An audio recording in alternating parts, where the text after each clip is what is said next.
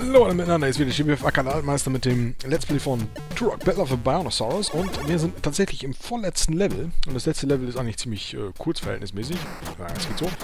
Aber jetzt sind wir in The Lost Lands, so heißt das Level im Original und ähm, kombiniert eigentlich nochmal alle Bereiche, die wir bisher auch schon mal erkundet haben in den vorherigen Leveln und bringt uns vor allen Dingen auch neue Gegnertypen, wie zum Beispiel diese Außerirdischen, diese Alien-Infanterie, die aussehen, als wären sie die Nachkommen von Mantis. Und Raptoren gibt es auch noch. Hey, lange nicht gesehen. Schon richtig vermisst. In diesem Spiel namens Turok Dinosaur Hunter. Weil, okay, Battle of the Bionosaurus. Weil das ja auch Dinosaurier dann sind. Saurus. Saurus. Tja. Und diese Außerirdischen sind tatsächlich eine insektoide Rasse von außerhalb, von weit her. Und ja. Die haben äh, vier Arme oder Armpaare, also sechs Armpaare insgesamt, also sind halt Insekten und keine Spinnen. Und äh, ja, beherrschen Auto äh, oder bedienen äh, außerirdische Technologie, Schusswaffen. Wie man sich denken kann. Die greifen mal nicht nur mit ihren Armen und Mandibeln an.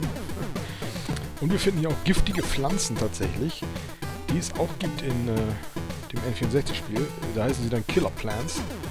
Und ja. Ich weiß nicht, können die sich bewegen? Ich glaube nicht. Ne, die sind stationäre, stationäre Gegner sind das, genauso wie hier auch. Das heißt, die töten einen nur, wenn man direkt in sie hineinläuft. Und ich denke mal, die einzige Gefahr, die von denen ausgeht, ist, dass man dusselig genug ist, sie als Hintergrund wahrzunehmen und nicht als, ähm, ja, als Gegner. Aber wie schon mal gesagt, alles, was ich hier, was nicht Turok ist, ist ein Gegner und draufschießen bewährt sich. Tja. Was witzig ist an diesen Außerirdischen in diesem Gameboy-Spiel ist, dass sie überhaupt keine Schusswaffen haben. Die schießen gar nicht. Die laufen einfach nur hin und her. Greifen einen allerdings auch außerhalb des Radius an also ihres normalen Bewegungsradius. So, und hier gibt in diesem Level gibt es ähm, zumindest an dieser Stelle sehr viel schwierige Sprünge. Und auch einige Gegenden, wo man wieder genau gucken muss, wo es als nächstes lang geht. Und wir finden hier nicht nur Killer Plants und insektoide Außerirdische in diesem Level jetzt, sondern auch Roboter. Angriffsroboter. Und die sind schwierig. Dieser ist noch recht einfach, weil er stationär ist und äh, recht langsam in der Schuss... Äh, naja, Schussreihenfolge hat. Diese, die sich bewegen, sind allerdings weitaus schwieriger.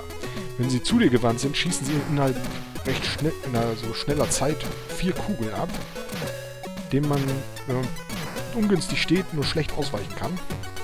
Hier ging das gerade noch, aber eigentlich bietet sich für diese Gegner dann an, die Granatwerfer einzusetzen, wenn man weiß, wo sie äh, dann rumlaufen und äh, sie aus der Ferne dann damit abzuschießen.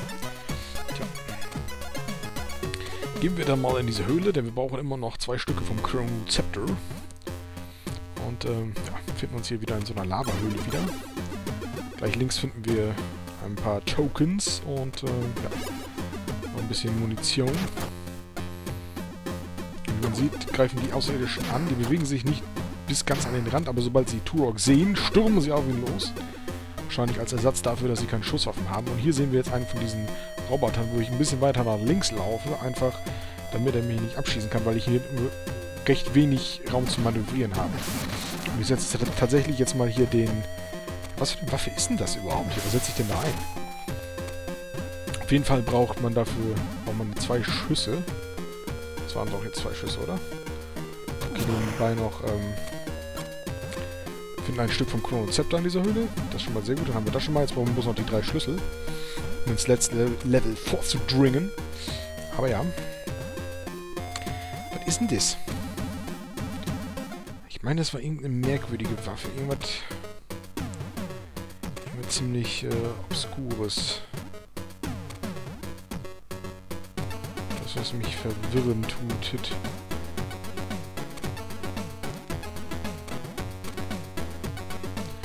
Gut, gucken wir mal. hab's gleich. das ist irgendeine merkwürdige Waffe. Quadraketenwerfer? Ne, den haben wir schon. Nicht wahr? allem dieser ist ziemlich schwierig. Ich versuche das hier mit dem, mit, der Schrot, mit dem Schrotgewehr, was auch geht. Allerdings, wie man sieht, ähm, ist, es irgendwann schwierig, den Kugeln noch auszuweichen. Es sei denn, man... Es gibt tatsächlich so ein Muster, was man anwenden kann. Man springt und die Gegner schießen ja in die Richtung, in die man quasi, in die man zuletzt war. Und so kann man das hinkriegen, dass der Roboter mit dem ersten Schuss nach oben schießt, dann nach unten, dann wieder nach oben und nach unten, einfach indem man mal hochspringt und dann nochmal hochspringt, sodass man ein Muster drin hat in seiner Schuss. Weil man kann nicht zwei Treffern oder Kugeln auf, auf einmal auswerfen, ausweichen, einfach weil sie zu dicht aufeinander folgen. Den, die Killerpflanze haben wir so weggesprengt. Sieht zwar nicht so spektakulär aus, aber man kann es sich vorstellen. Und diesen Raptor haben wir auch weggesprengt. Mit einem ziemlich äh, luschigen Schuss eigentlich, so aus einem Granatwerfer. Und dieser war auch viel zu kurz geraten. Und äh, ja, wir werden verwundet und äh, muss es hinkriegen, dass die Roboter mit dem Rücken zu einem stehen. Und dann nach drei Granattreffern sind sie auch weg.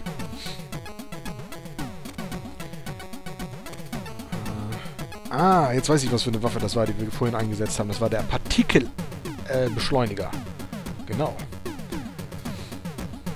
feuert Hochenergie-Partikelkugeln äh, ab. Und so, und dieser Fall hier, das konnte man nicht sehen, dass da unten eine Plattform ist. Und das meinte ich im, eigentlich im letzten Video schon, dass es hier tatsächlich richtige Probleme gibt, dann äh, weiterzukommen. Bis ich das rausgefunden hatte, ist tatsächlich ein bisschen mehr Zeit vergangen, als man jetzt hier in diesem Video sieht, aber das, äh, tja, hat gebraucht. So, jetzt denke ich natürlich, ah, da geht's jetzt weiter, okay. Aber es ist nur ein Raptor, der sich hier verirrt hat, irgendwo auf die Felsspitze einfach nicht mehr runterkommt. Aber wir erlösen ihn von seinem peinlichen Schicksal und äh, sehen auch gleich einen stationären Battle-Druiden, der nicht so viel schneller, der nicht schneller schießt als seine Kollegen, die schneller schießen, aber durch unseren Granatwerfer auch sehr gut äh, zu treffen sind. Der natürlich in so einem schönen Bogen schießt. Tja, oder Bogen nach unten. Tatsächlich, er, er, hat sogar mehr einen Bogen als der Tech-Bogen. Weil die Pfeile fliegen geradeaus, genau wie Kugeln. Nicht so wie im N64-Spiel, wo die dann auch so nach einer Weile da nach unten abdriften. Ich meine, das war im, im ersten Teil auch so. Aber ich weiß auf jeden Fall, dass es in äh, Seeds of Evil so war. In der N64. Da waren die Pfeile, flutschen so nach unten weg. Gar nicht lange in der Luft sozusagen. Joshua, Fire Seed und Turok dafür, dass sie den Bogen so prominent einsetzen, fliegen die Teile nicht sonderlich weit. Da ist ja Garrett aus äh, Dark Project besser mit dem Bogen als die. Das gibt mir zu denken. So sollte es eigentlich nicht sein. Immerhin seid ihr Turoks. Indianer. Meister der, des Bogenkampfes. So, ich versuche hier den, mit dem Granatwerfer diesen Kerl natürlich wieder abzuschießen, weil die Granatwerfer die coolste Waffe ist im ganzen Spiel. Abgesehen natürlich vom Bogen. Wozu wir auch nochmal kommen werden. Was ich damit jetzt meine. ja. Ähm, aber das äh, sehen wir dann erst im nächsten Video. In diesem ist es noch nicht relevant für uns. Hier ist es nur relevant, dass wir die restlichen zwei äh, äh, äh Schlüssel finden für das letzte Level. Dieses Level ist tatsächlich ziemlich geradlinig, so alles in allem. Es, kein, es, ist bloß schwierig, dann eben den richtigen Pfad zu finden. Das ist das Einzige, was dieses Level hat. Und eben ein paar sehr schwierige Sprünge oder auch riskante Sprünge, die man machen muss. Und tatsächlich, an dieser Stelle sieht man, wie gut die Minigun gegen diese Außerirdischen ist, tatsächlich, weil sie stoppt sie mitten im Lauf. Sie feuert so schnell, äh, dass ähm, die einfach nur stehen bleiben und sich ja, gar nicht mehr bewegen können. Anders als bei dem, bei dem äh, Sturmgewehr, weil das schießt ja vier Kugeln ab und danach macht es eine kurze Pause, was dem Gegner Zeit genug gibt, dann sich wieder zu bewegen, auf einen zuzubewegen. So, das ist hier der Eingang, wo wir zuerst reingekommen sind und jetzt bewegen wir uns dann äh, nicht mehr unten lang, oder zumindest erstmals nicht, weil jetzt gilt es, die anderen Bereiche zu erkunden. Weiß ich nicht, habe ich den erwischt, den Raptor? Oder ist er außerhalb der Reichweite? Wahrscheinlich ist er außerhalb der Reichweite diesmal tatsächlich. Sodass wir ihn nicht von unten äh, abschießen können und dass er dann lustig runterfällt als weiße Raptor-Leiche. Aber wir können uns ein bisschen weiter links auf der Leiter positionieren, sodass der Raptor da nicht ganz hinkommt uns. Und da habe ich gerade einen kleinen Testsprung gemacht, um zu sehen, ob es da was gibt, wo ich landen kann. Und ich habe es gesehen und ja. Es geht weiter. Den Raptor konnten wir jetzt von unten erschießen. So, ich gucke nach oben, gucke nach dort, springe da mal kurz vor und äh,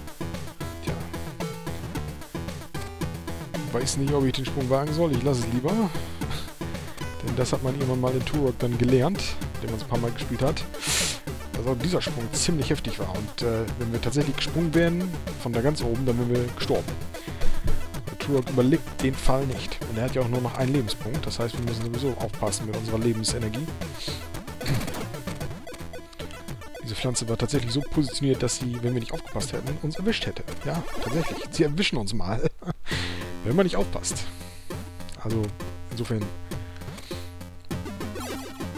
Aber gut, das muss man in dem Spiel sowieso. Vor allen Dingen hier an dieser Stelle, weil hier kommt eine kommt ziemlich hässliche oder ziemlich genaue Sprungpassagen und tatsächlich ein paar Dimetrodons. Äh, Dimetrodons, die an dieser Stelle im Originalspiel tatsächlich ähm, schon Cyborg-technisch aufgemotzt sind und Laserwaffen auf den, den Körper äh, montiert haben. Und der zweite Schlüssel. Jawohl. Erst links lang gehen und dann jetzt, jetzt gehen wir nochmal rechts lang. Ja, die sind tatsächlich da schon aufgemotzt worden. Woran man erkennt, dass der Campaigner keine Zeit verliert und seine Dinosaurierarmee weiter ausbaut. Sodass Tour quasi in, ja, nicht in Erklärungsnot kommt, aber in Zeit unter Zeitdruck.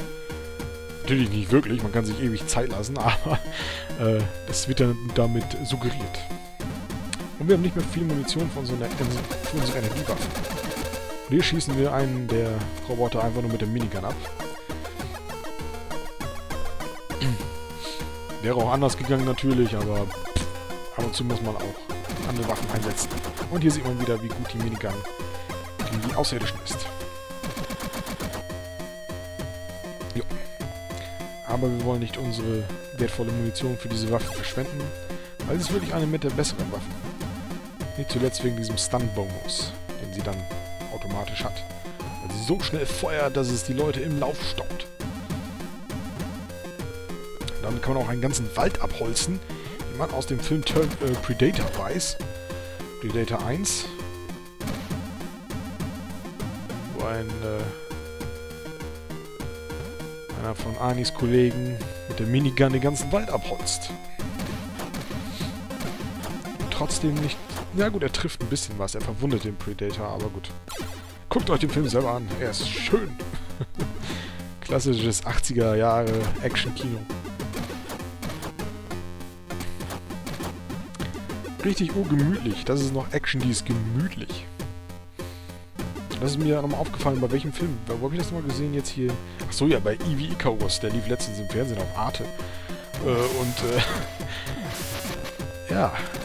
Da gibt es keine schnellen Kamerafahrten und nichts dergleichen, aber es gibt eine spannende Geschichte. Und die größte Action-Szene ist eigentlich die, wo der Hauptprotagonist, ein etwas älterer Kerl, eigentlich ein bisschen schneller läuft. Er, er joggt das ist dann schon Action. ohne Wackelkamera und ohne alles. Tja. Das ist auch Action und die bleibt im Kopf. Das hat was mit der Inszenierung zu tun, mit den Charakteren und mit der Story. Das waren sehr knappe Sprünge hier alles in allem. Die auch nur knapp von mir geschafft wurden. Und da ist die Partikelkanone mal wieder. So sieht sie aus. Nochmal zur Erinnerung. Und ein Weitersprung. Und diese Außerirdischen haben ein ziemlich äh, starkes Kurzzeitgedächtnis, wie es für Fliegen üblich ist. Oder Insektoide. Und das, der dritte Schlüssel, damit sind wir hier fertig. Ein ziemliches Kurzzeitgedächtnis, einfach weil sie, ja, ver so, äh, vergessen, wo Turok ist, äh, sobald wir aus dem, in die Luft springen. Das reicht schon aus, um sie vergessen zu lassen, dass gerade jemand auf sie geschossen hat. dann drehen sie sich um und ja, versuchen es dann äh, bemerken aber immerhin, sobald Turok wieder auf dem Boden, Boden landet, also von daher sind ihre Sinne nicht ganz so schlecht. Gut, aber was jetzt noch fehlt, ist eigentlich nichts. Müssten wir eigentlich wieder, ah ja, ganz unten angekommen sein. Da, wo wir schon mal lang gelaufen sind. Deshalb sind ja auch keine Gegner mehr. Und diesen Sprung zu schaffen, nach, sowohl nach links als auch nach rechts, ist ziemlich schwierig. Da muss man schon geübt sein. Und beim N64-Spiel war es ja so, dass Turok kurz bevor er abstürzt, in so eine kleine Hock-Animation geht und dann war immer das Signal zum Springen. Ich weiß jetzt nicht, warum ich äh, zurücklaufe. Ich bin ein bisschen verwirrt anscheinend. Nochmal diese tollen Sprünge demonstrieren will, wo ich gerade drüber rede. Aber ja. Gut. Über diesen Pfad kommt man auch zurück. Oh, das war ein Bereich, den wir noch nicht... Ah, okay, gut. Dann haben, hat uns tatsächlich hier was gefehlt. Hier treffen wir nochmal die Partikelkanone. Die wir aber nicht mehr einsetzen werden. Denke ich. Nee, ich meine nicht. Nein. Bleiben wir unserer guten alten Schrotflinte. Das die Waffe schlechthin. Aber wie gesagt, N64-Spiel geht Turok dann in so eine kleine Hocke und das ist dann für den Spieler das Signal, die Sprungtaste zu drücken. Und das funktioniert eigentlich ziemlich gut insgesamt. Äh, diesen, diese lustige kleine Funktion hat Turok in diesem Spiel nicht. Das heißt, wenn man ein bisschen zu weit geht, dann stürzt man ab. Man muss also schon recht früh lernen oder sich beibringen, zu wissen, wann Turok springen kann und wann er es besser lassen sollte. Ja. Wann man die maximale Sprungweite erreicht. Sind auch nicht allzu viele Stellen im Spiel, wo man das wirklich beherrschen muss. Aber, ja. Wenn man es dann äh, beherrscht, dann ist man doch recht froh darüber, wenn man es dann auch entsprechend einsetzen kann. So, das war Level 7, äh, die verlorene Welt. So heißt eigentlich die ganze Welt, aber in diesem Fall heißt das Level auch nochmal so. Und äh, wir sehen uns dann beim letzten Level. Bis dann.